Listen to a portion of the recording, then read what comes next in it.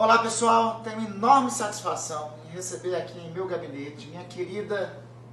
companheira Leila Barros, senadora pelo Distrito Federal, que orgulha o povo daqui dessa terra, e minha companheira também, Érica Cocai, que tanto admiro, deputada federal de, aqui de Brasília, Distrito Federal, meu companheiro Rafael Prudente, também deputado federal daqui, que trazem uma reivindicação mais do que justa, não é isso, Leila? Mais do que justa e histórica, né, Randolfo?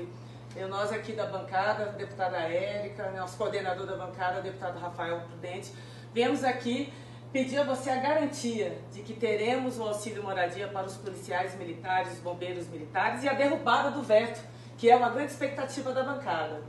Exatamente, esse é o nosso apelo ao governo, apelo ao senhor que é o, o líder do governo no Congresso Nacional, para que esse dispositivo que foi colocado pela nossa bancada, manutenção do auxílio moradia, que foi vetado, para que a gente faça essa derrubada e dê essa importante resposta e esse alento aos nossos policiais militares e ao Corpo de Bombeiros também. É, nós, na verdade, estamos trabalhando incessantemente, a senadora Leila, deputado Rafael, eu, nós todos estamos trabalhando de forma muito intensa para que nós possamos convalidar o auxílio moradia. Isso é absolutamente justo para os bombeiros e os policiais militares aqui do Distrito Federal. Então, Érica, Leila e Rafael, em vosso nome em especial, coordenando a bancada do Distrito Federal, comunico a vocês e atendendo em especial essa justa reivindicação que na próxima sessão do Congresso Nacional, que nós deveremos ter aqui até, até o fim da primeira quinzena de abril,